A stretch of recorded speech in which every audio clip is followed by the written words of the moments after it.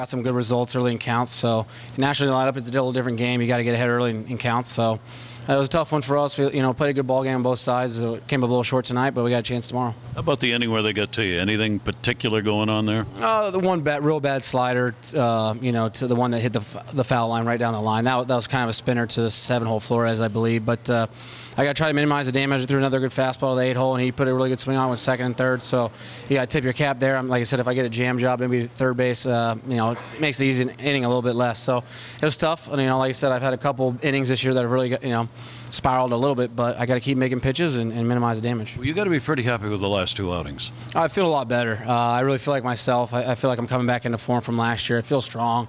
That hasn't been a question uh, or an issue this year. So yeah, I'm going to keep building off it. That's the way I am. I want to take the good stuff and, and go from there and leave the negative there and um, just keep working. But you said the difference in the National League, American League. Would you go into that just a little bit more for you as a pitcher? What's the difference? I'm going to keep those secrets to me. I've uh, I've pitched in both leagues. I've played in all 30 parks but one. I'm going to keep all my secrets to myself. Fair enough. Cinco de Mayo, happy day. Thanks.